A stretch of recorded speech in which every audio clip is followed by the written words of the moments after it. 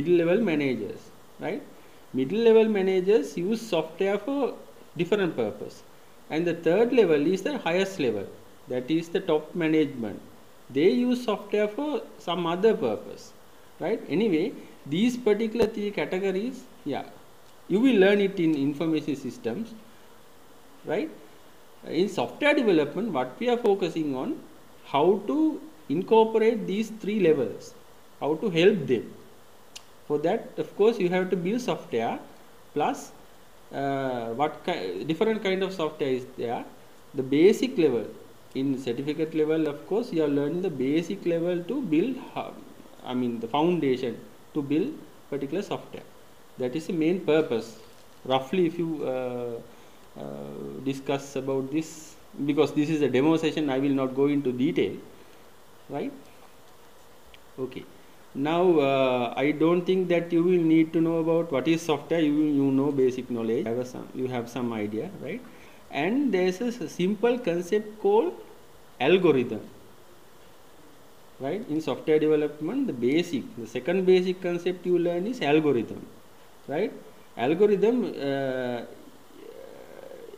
the definition says when you want to design and implement a program it is important to develop a blueprint of a program. That means before creating a particular software you have to have a sketch right? So uh, which the the step by step procedure in uh, arriving at the solution. That is the that is what you call by algorithm. And uh, there is some other definition as well this is just a, this is just similar to creating an architectural plan of a house. That means day to day activities you are you have to have an architectural plan before creating a house.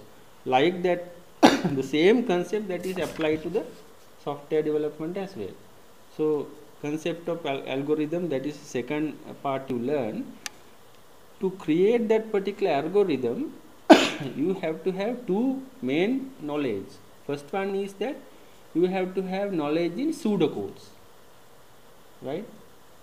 If you forget about every software development uh, programming language you know about programming languages right?